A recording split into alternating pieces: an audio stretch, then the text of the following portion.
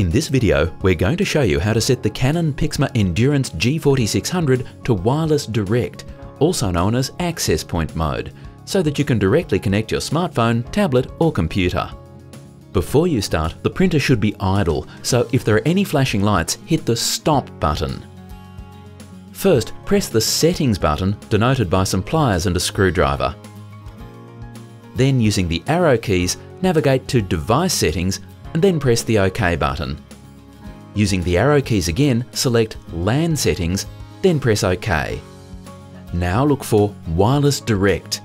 Press OK and then navigate to Switch WL Direct, then select Yes.